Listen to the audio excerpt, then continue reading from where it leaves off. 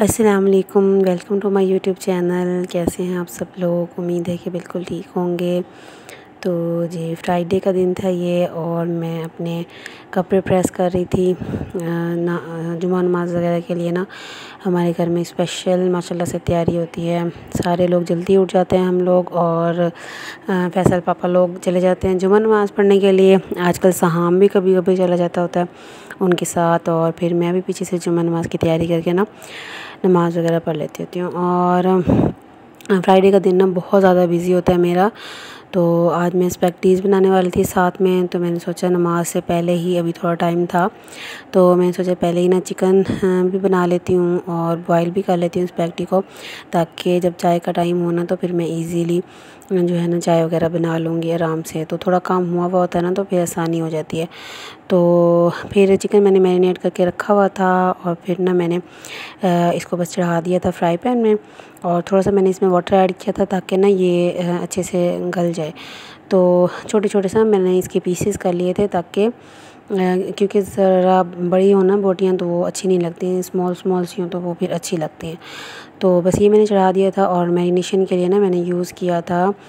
थोड़ी सी दही यूज़ की थी और साथ में अदरक, लहसुन का पेस्ट और बीबीक्यू का जो मसाला होता है ना बारबेक्यू का, वो मैंने इसमें थोड़ा सा डाला था और गरम मसाला और सूखा धनिया जो होता है, वो भी ज़ीरा पाउडर, ये तीनों चीज़ें भी मैं ज़रूर डालती होती हूँ। और थोड़ा सा चाट मसाला भी कभी कभी डाल देती हूँ थोड़ा सा अच्छे टेस्ट के लिए और स्पाइसी के लिए। तो उसके बाद ना मैंने इसमें थोड़ा सा ऑयल डाल के इसको बस पका लिया था और ढकने की भी ज़रूरत नहीं पड़ी थी क्योंकि जब स्मॉल पीसीस होते हैं ना चिकन के तो वो जल्दी गल जाते हैं। तो बस ये हो गया था रेडी और दूसरी साइड पे ना मैंने पानी चढ़ा दिया था बॉईल होने के लिए और उसमें मैंने थोड़ा सा सॉल्ट ऐड किया था और साथ में ऑयल ऐड किया था। ये ज़रूर ऐड करना होता है जब भी आप स्पैगटी या पास्ता बॉयल करो ना तो उससे फिर ये होता है कि ये चिपकते नहीं है, वरना ना ये आपस में चिपक जाते हैं। ऑयल भी ज़रूर डालना होता है और साथ में ना थोड़ा सा मैं सॉल्ट भी डालती होती हूँ।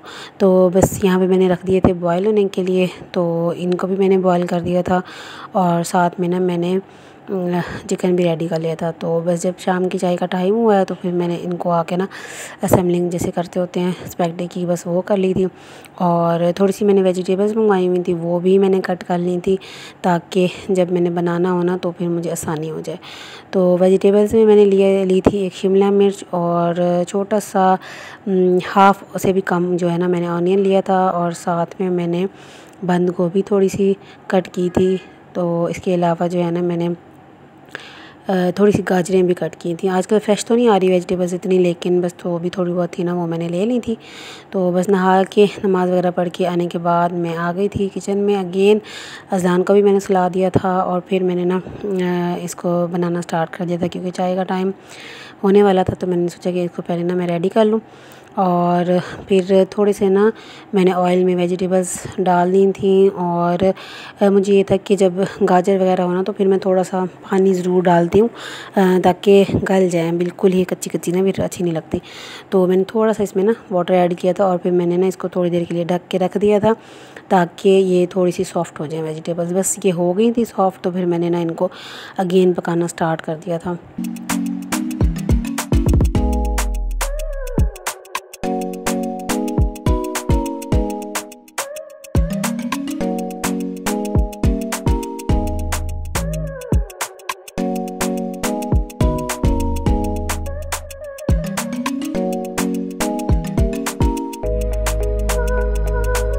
तो इसके बाद ना मैंने इसमें ऐड किया था थोड़ा सा सॉल्ट और पानी बस बिल्कुल ड्राई होने वाला था। तो मैंने इसमें थोड़ा सा सॉल्ट और साथ में ना ब्लैक पेपर मैंने इसमें ऐड की थी। तो जब मैं ब्लैक पेपर डालने लगी ना तो मैंने देखा तो वो तो ख़त्म हुई हुई थी और मैंने, मुझे याद नहीं रही। मंगवानी और ग्रॉसरी करने अभी जाना था। तो फिर मैंने कहा, अब क्या फ़ैसल को तंग करूँ? वो भी वो क्या आए थे बाज़ार से। तो मैंने ना फिर गर्म मसाले में से जितनी भी थी ना मेरे पास काली मिर्च, वो निकाली है साबित और उसको मैंने मैंने ना अच्छे से कोट के तो फिर इसमें डाल दिया था। तो कभी कभी ना हस्बैंड्स को भी रिलैक्स देना चाहिए, उनको हर टाइम भगाए नहीं रखना चाहिए। तो मेरी यही कोशिश होती है कि मैं जितना हो सके ना मैनेज कर लूँ और फिर ही उन पर बर्डन डालूँ, ज़्यादा भी उन पर बर्डन नहीं डालना चाहिए, क्योंकि वो भी बेचारे इतना कुछ कर रहे होते हैं। और हम लोग फिर उनको भगाई रखे ना तो वो भी बेचारे कहाँ ही जाएँ, कितना ही करें। तो बस यहाँ पे मैंने ना वेजिटेबल्स में स्पैगडीज भी ऐड कर दी थी और साथ में ना मैं इनको मिक्स कर रही थी। और फिर उसके बाद आती है बारी सॉसेस की तो मैंने यहाँ पे ग्रीन चिली सॉस ली थी और इसके अलावा मैंने इसमें रेड चिली सॉस डाली थी और इसके बाद जो है वो सोया सॉस वो भी मस्ट होती है तो वो भी मैंने इसमें ऐड की थी। तो उसके बाद थोड़ी देर पकाने के बाद बस इसको मैंने उतार लिया था और ये इतनी मज़े की बन के रेडी हुई थी। स्पैगडी आप लोग भी ज़रूर ट्राई करना रेसिपी बहुत मज़े की है। वरना ना मैं नॉर्मली स्पैगडी जो है ना वो बना लेती हूँ। तो थोड़ी सी शिमला मिर्च डाल के ना ऑयल में और चिकन डाल के और स्पैगडीज़ को डाल के सॉसेज डाल के ना बस, वो भी बहुत मज़े की बन जाती है वैसे। लेकिन वेजिटेबल्स के साथ ना एक अलग ही टेस्ट आ जाता है। तो बस यहाँ पर जो है ना मेरी हो गई थी तकरीबन और इसके बाद मैंने इसको कर लिया था डिश आउट और चाय भी साथ साथ रेडी हो गई थी और स्पैगडीज़ भी रेडी हो गई थी। तो बस शाम की चाय में हम लोगों ने ये खाया था और साथ में ना हम लोगों ने आज जाना था ग्रॉसरी करने। तो बस उसके बाद ना हम लोग ने, वैसे चाय हम लोग थोड़ा सा लेट पीते हैं लेकिन आज ना मैंने जल्दी कर लिया था सारा कुछ क्योंकि हम लोगों ने फिर जाना था ना तो फिर लेट हो जाता है वापसी पे। तो बस फिर ये सारा कुछ करने के बाद हम लोग चले गए थे ग्रॉसरी करने के लिए।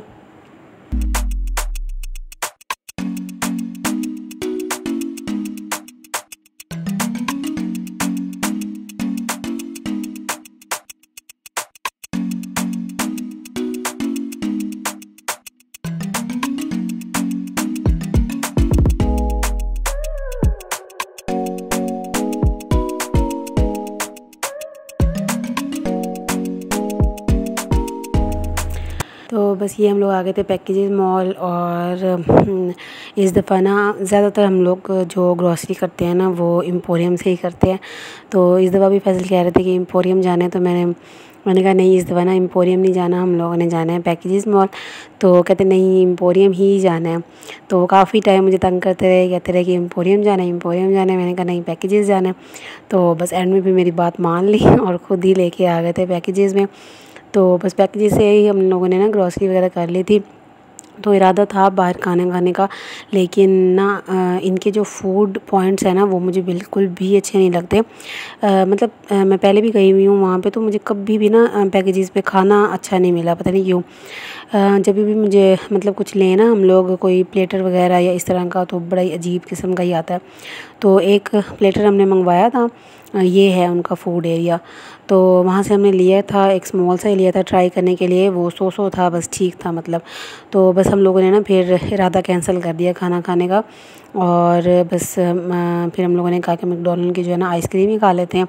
तो बस वही खाई थी और जो प्लेटर था ना, वो छोटा सा ही हम लोगों ने मंगवाया था, बस वही थोड़ा सा खाया था।